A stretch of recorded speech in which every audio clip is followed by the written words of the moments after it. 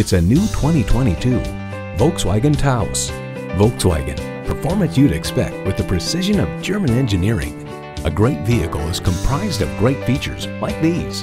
Automatic transmission, front heated bucket seats, streaming audio, manual tilting steering column, Wi-Fi hotspot, external memory control, aluminum wheels, inductive device charging, and intercooled turbo inline four-cylinder engine.